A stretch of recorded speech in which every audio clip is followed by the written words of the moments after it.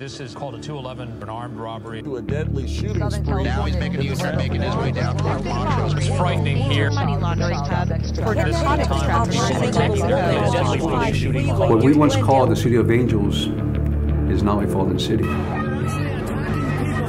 With murder, greed, prostitution. Crime has fueled this city's flames long enough and burned every hope and dream and promise of our good people.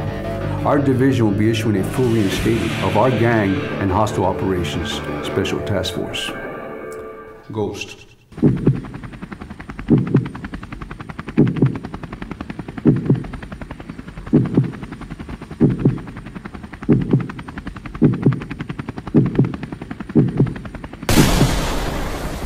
Melissa Sanchez here live in front of the home where four heroic police officers saved a family from being killed. The city of Los Angeles thanks you very much. You see that? I see a city full of problems that you and I cannot fix. We all know that money doesn't go where they say it's going to go.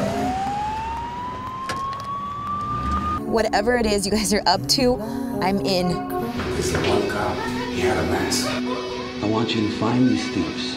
And when you do, I want you to come and tell me where they're at. What's your fucking problem? Por este hijo de puta policía? All of Ghost is being looked into right now.